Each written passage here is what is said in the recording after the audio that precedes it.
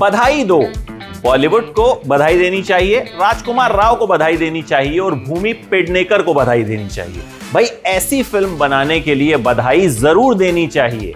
पहले आई थी बधाई हो, आयुष्मान खुराना वाली, जिसमें आयुष्मान खुराना की मम्मी बनी, नीना गुप्ता प्रेग्नेंट हो जाती हैं। और फिर दिखाया जाता है कि किस तरह से जब एक बड़ी उम्र की लेडी प्रेग्नेंट हो जाती है तो परिवार को किस तरह की समस्याओं का सामना करना पड़ता है। इस बार उस फ़िल्म का दूसरा पार्ट बनाया गया है, नाम रखा गया है बधाई दो।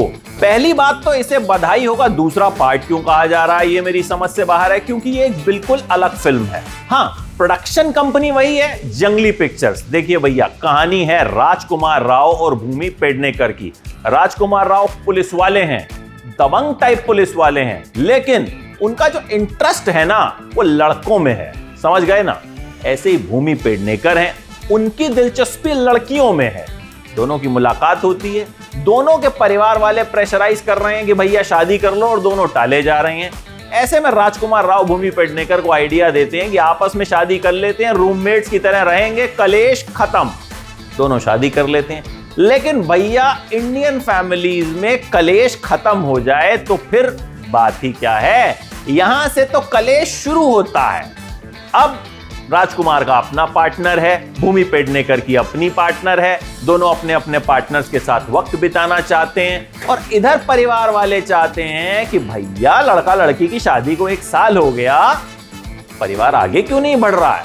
बस, फिर जिस जद्दोजहद में कहानी उलझती है, इस तरह से ये दोनों परिवार का सामना करते हैं, समाज का सामना करते हैं, यही इस फ़िल्म में दिखाया गया है। देखिए LGBT कम्युनिटी किस तरह की परेशानियों से दो चार होती है? क्या उनके इमोशंस होते हैं? क्या कुछ उनकी परेशानियाँ होती हैं? क्या उन्हें प्यार करने का अधिकार नहीं है? क्या उन्हें अपने परिवार को आगे बढ़ाने का अधिकार नहीं है? ये फ़िल्म इन सारे मुद्दों पर बहुत सेंसिबली बात करती है, बहुत अच्छे से उन मुद्दों को डील करती है।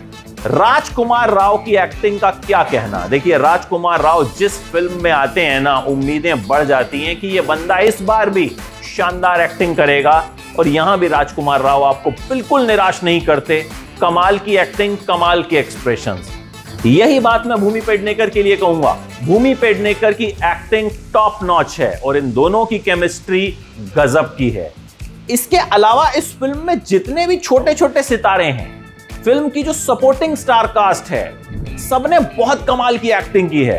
कहानी उत्तराखंड बेस्ड है और हर एक्टर ने अपने किरदार के साथ इंसाफ किया है।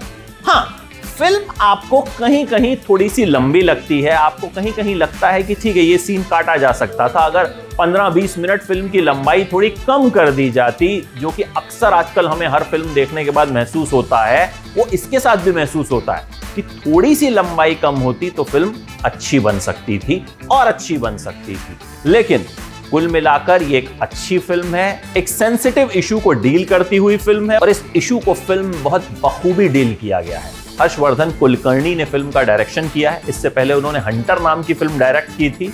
तो एक तरह से कह सकते हैं कि पहली बड़ी फ़िल्म उन्होंने डायरेक्ट की है और डायरेक्टर ने अपना काम अच्छे से किया है, एक्ट्रेस ने अपना काम अच्छे से किया है। कुल मिलाकर एक अच्छी फ़िल्म जिसे ज़रूर देखना चाहिए और ऐसी फ़िल्में बननी चाहिए, जो ऐसे मुद्दों पर बात करती हैं, जो मुद्दे हमारे समाज के लिए ज़रूरी हैं, जिन पर बात करने से लोग बचते हैं। और इसी बात पर राजकुमार राव, भूमि पेडनेकर, इस फ़िल्म के मेकर्स, पूरी स्टार कास्ट के लिए हम यही कहेंगे कि इन सबको बधाई दो। Thank you.